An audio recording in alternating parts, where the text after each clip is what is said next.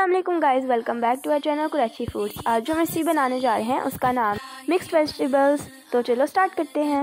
सबसे पहले हमने सीज़न की तमाम वेजिटेबल ली हैं, जिसमें आलू, गाजर, गोभी, शलजम, मूंगरे, मटर, और ये चुकंदर लिए हैं। चुकंदर आप डालना चाहें तो डाल। सबसे पहले हमने वन लार्ज अनियन लेकर इसको शैलो फ्राई कर लेना है।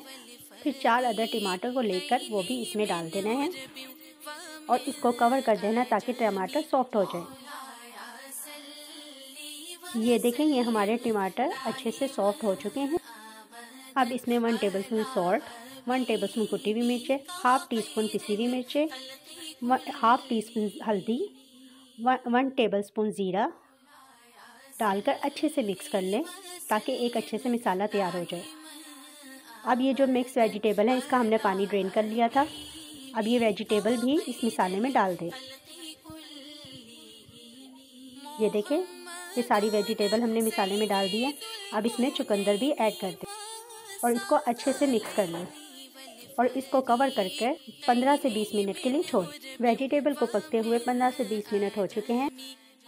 तमाम वेजिटेबल ने पानी अपना छोड़ दिया है।